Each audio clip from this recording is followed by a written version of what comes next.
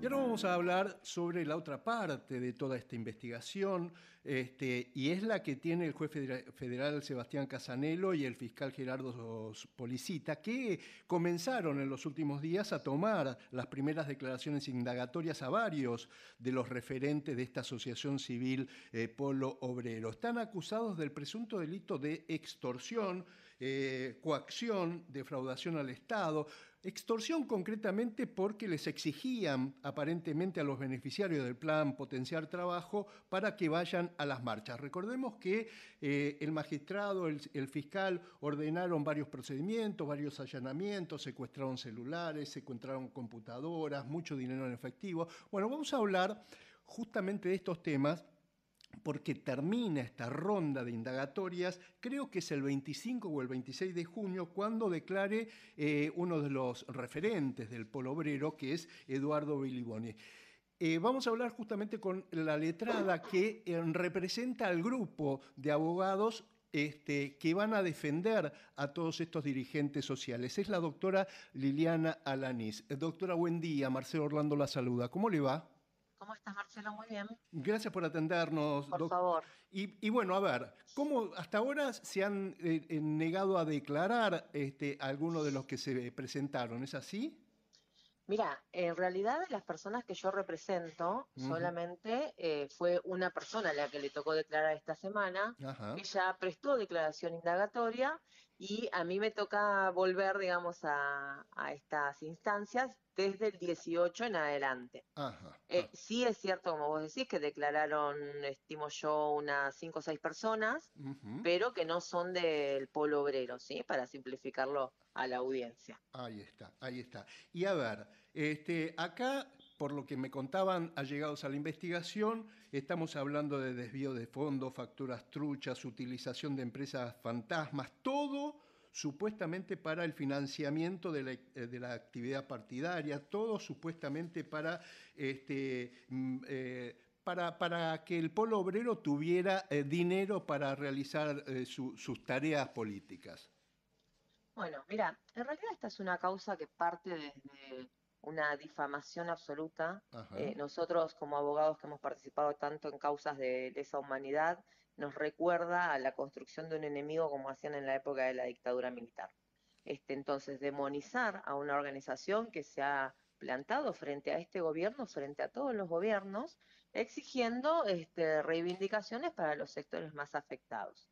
Y en ese sentido, nos este, están investigando por esta serie de delitos que vos decís, en las cuales si vos lees las imputaciones, este, mezclan absolutamente todo. Es la construcción este, de un relato. Y parece ser exactamente lo mismo una compañera de base o el compañero que es más este, conocido políticamente o a gente que este, tiene una empresa que no tiene vinculación con el con el polo obrero, ¿sí?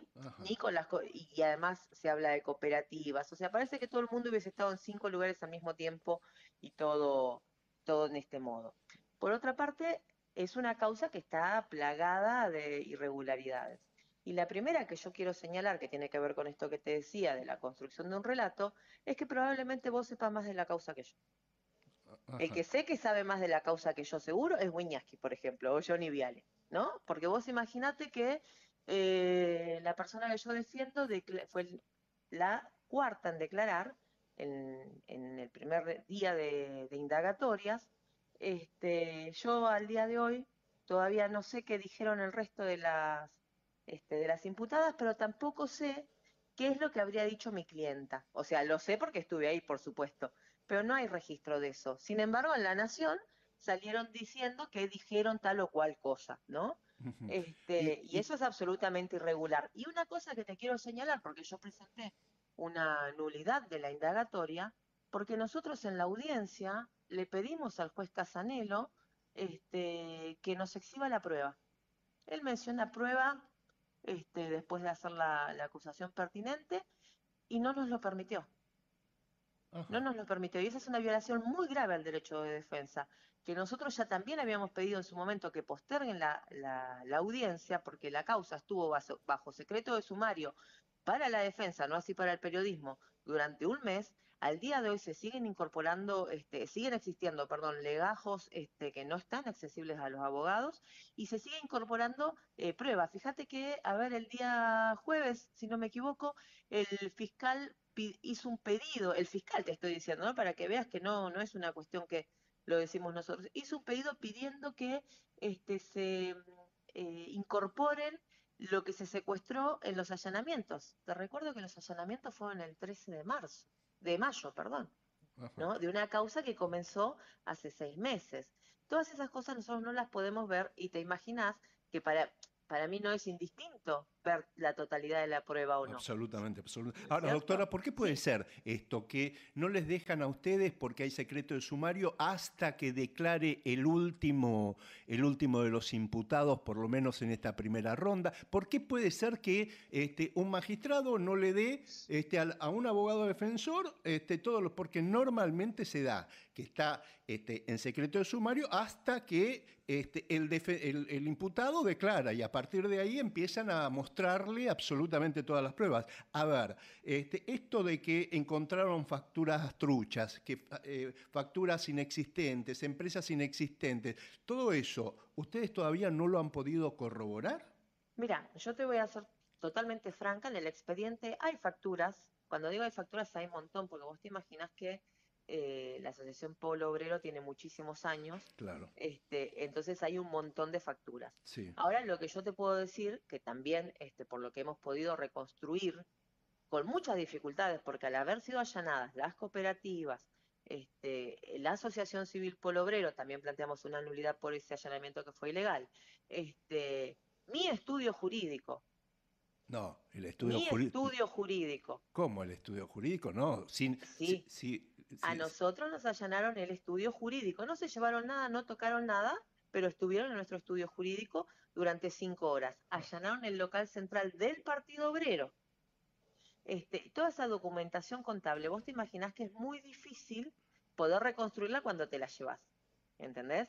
Entonces, pero ustedes no eh, tienen como una especie de inmunidad. Tenemos, nos mandaron un vedor y todo, pero de todos modos fueron a amedrentar, porque no se entiende de otra forma, este, e ingresaron al estudio, filmaron todo, este, sacaron fotitos, hicieron lo mismo con este, una redacción este, periodística, hicieron lo mismo con la sede central del Partido Obrero. Por eso, ahí sí como este, abogada ya del Partido Obrero, este, hicimos una presentación en la Corte Interamericana de Derechos Humanos, porque la violación a los derechos democráticos este, ya es una, una cosa flagrante. Pero lo que te decía respecto a, a, las facturas, porque no quiero esquivar el bulto a esa pregunta.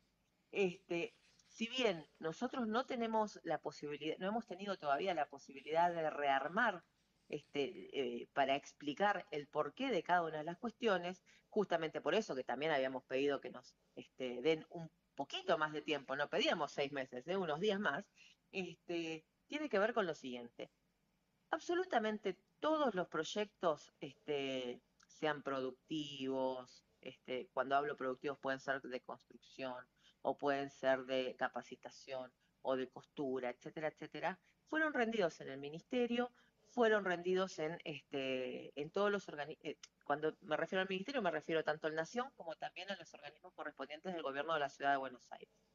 Todo fue rendido y cuando vos rendís, no solamente tenés que rendir este, facturas y demás, sino también acompañar certificaciones, tenés que acompañar la prueba de qué es lo que hace cada cooperativista, en el caso de que sean cooperativistas, o las contraprestaciones que prestan, valga la redundancia, los comedores, por, por ejemplo, en el caso de la asociación civil, todo eso está presentado. No es cierto que se deba una determinada cantidad de dinero aquí o allá, porque, por ejemplo, hace 15 días, en medio de todo esto, el Ministerio de Capital Inhumano nos intimó a las cooperativas y al pueblo obrero porque faltaba presentar informes. Ellos tienen absolutamente todo, pero ese plazo no estaba vencido.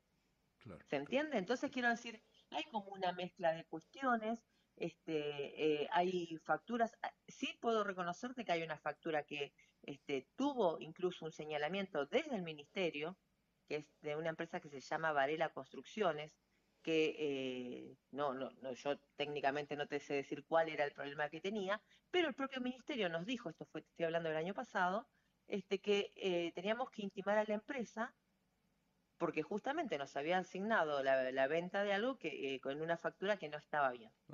Es decir, que cada vez que nosotros tuvimos un problema, porque digo, a cualquiera le puede pasar esta, este tipo de cuestiones, y nos lo han señalado, hemos tratado de resolverlo, hemos investigado qué es lo que pasaba. Acá, sin embargo, viste como que te revolean todo al mismo tiempo y todo es igual, entonces hacen sumas este, magnificentes. Yo te voy a decir, te voy a contar una cosa que parecerá una soncera, pero para que vos tengas una idea.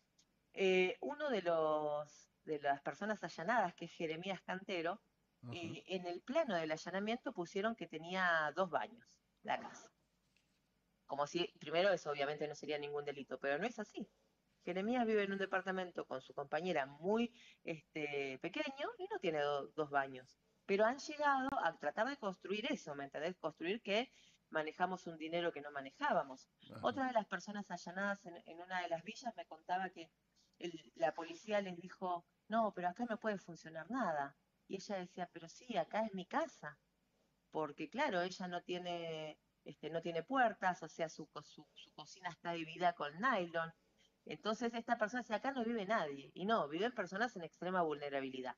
Y en lugar de ver cómo se resuelven los problemas de esta gente, buscan atacar a la organización y los hacen, eh, nos, nos quieren hacer creer que la gente que se este, agrupa al polo obrero, a los comedores, etcétera, es gente sonsa que no sabe nada y que, la, que uno la rea de la nariz, ¿no? Una cuestión muy, muy clasista y bastante, bastante desagradable. Pero en ese sentido, en la declaración de Cintia del día 11, ella explicó justamente esto, cómo funciona el polo obrero, cómo, nos, eh, cómo se organizan para que los alimentos puedan llegar, este, que obviamente tienen que pagar un flete, pero eso es así porque el ministerio, bueno, ahora viste que desde diciembre el ministerio no da nada, pero el ministerio deja los alimentos en un en un galpón y de ahí hay que trasladarlos a los distintos comedores de la ciudad o, de, o del interior, según donde corresponda. Ahora, doctora, este, cuando, comenzó, cuando comenzó la indagatoria, dicen, bueno, usted está acusado de, tal hecho, tal hecho, y, de, tales delitos, extorsión, coacción, defraudación al Estado,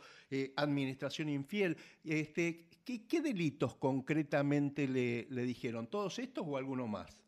No, en realidad la, en la indagatoria lo que hicieron fue la descripción de los hechos y no la tipificación eh, legal que vos me estás eh, comentando, que básicamente es eso, ¿no? Porque el expediente está caratulado coacción y defraudación, claro. pero no, no lo determinaron, no lo tipificaron en la audiencia misma. Ajá. Y, eh, y, la otra que quería preguntarle, porque tengo dudas, ¿es el 25 o el 26 el día de la indagatoria de Boni?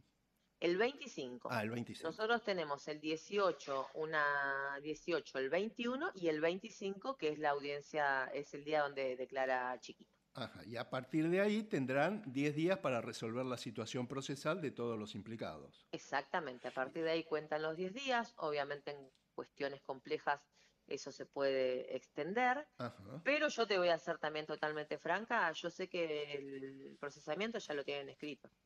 Porque por eso han metido este esta necesidad de, me, hace acordar a acelerar. Me, hace acordar a Cristina. Bueno, no comparto mucho con Cristina, pero eh, en este caso, mira, nosotros te, cuento otra cosa. Nosotros planteamos la nulidad del allanamiento de la Asociación Civil Polo Obrero. Este, obviamente, eh, Casanelo, que es quien dio la orden, lo rechazó. Nosotros apelamos, la apelación fue concedida y nosotros tenemos audiencia ante la sala primera el día 27 de mayo.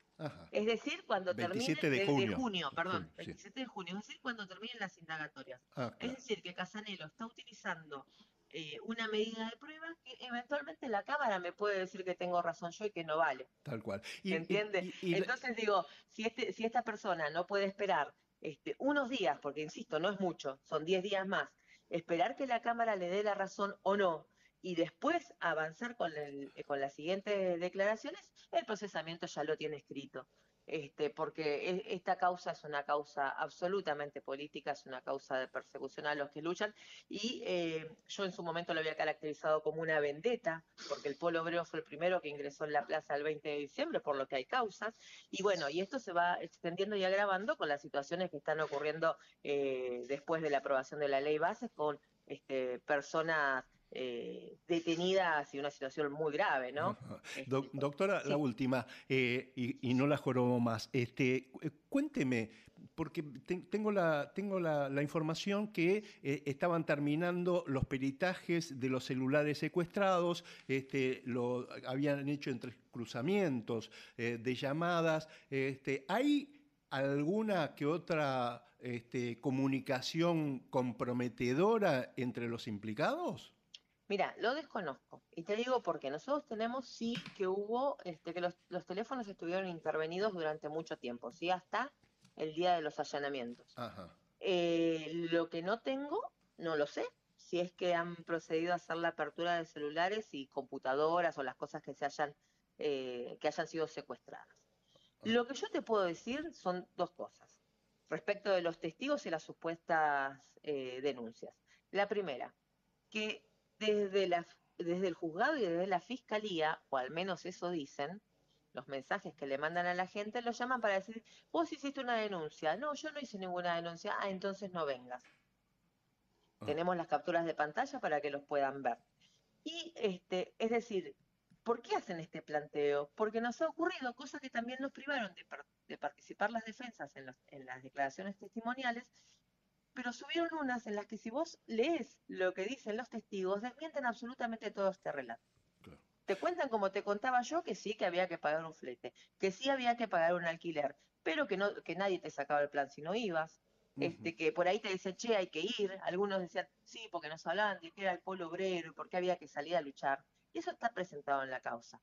Entonces, eh, ahí es donde obviamente nosotros no, estamos en igualdad de armas de un Estado que pone todo al servicio de esta persecución, este, sus tres poderes, que tiene eh, metidos querellantes, que tienen este, recursos para que todo el mundo pueda estar corriendo detrás de esta causa, contra este, gente que no tiene recursos y una asociación civil que gasta el dinero en tratar de que la gente pueda comer y pueda tener trabajo.